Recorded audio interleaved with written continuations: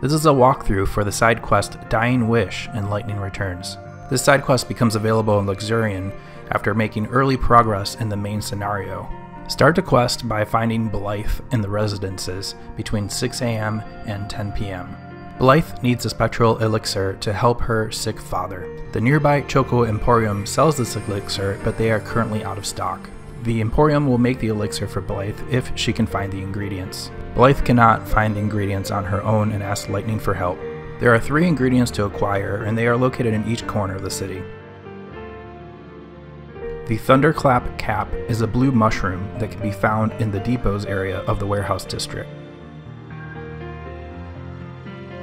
The second ingredient is the Shaolong Gui shell. This is sold by a merchant called Seger in the Old Town area. Seger never seems to sleep, and his shop is open 24 hours a day.